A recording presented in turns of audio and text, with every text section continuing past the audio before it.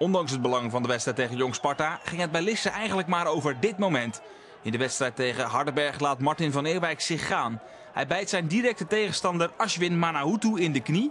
Lisse neemt maatregelen tegen Van Eerwijk en zet hem per direct aan de kant. Het lijkt wel alsof Lisse in een nare droom zit.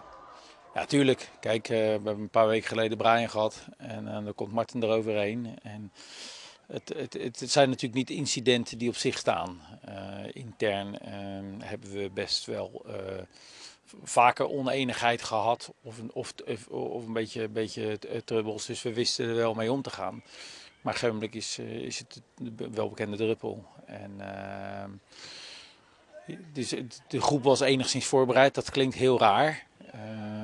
Want sommigen hadden echt het gevoel, ja, er komt een keer een moment aan dat het, dat het, dat echt fout gaat. En, en, en dan uh, zie je inderdaad bij een paar kopjes van jeetje, uh, vervelend dat weer zo'n situatie gebeurt. Maar je ziet ook bij een paar, paar kopjes dat er een stukje oplichting is. Martin was een hele nadrukkelijke speler bij ons, met hele specifieke kwaliteiten.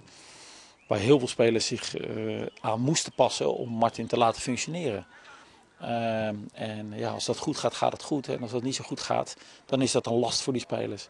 Zonder de grillige, maar vaak ook geniale Martin van Eelwijk moet Lisse zich veilig spelen. Lisse moet winnen van Jong Sparta en dan hopen op puntverlies van de concurrentie. Ondanks de sobere uitgangspositie heeft Robert Ruiter, de trainer van Lisse, goede hoop. Nou, de aanknopingspunten zijn in ieder geval dat we, dat we uh, een van de weinige ploegen zijn die na de winterstop uh, van Sparta uh, hebben gewonnen in ieder geval. En we spelen thuis op ons eigen veld. Dat zijn de belangrijkste aanknopingspunten. Een ander belangrijk aanknopingspunt is, is op het moment als er wedstrijden gespeeld worden hier op Terspekke waar het om moet gaan. Nou, daar heb ik de laatste jaren positieve ervaringen mee opgedaan. Dus daar hou ik me ook aan vast ja, we weten allemaal wat ons te doen staat. En dan zijn we nog steeds afhankelijk.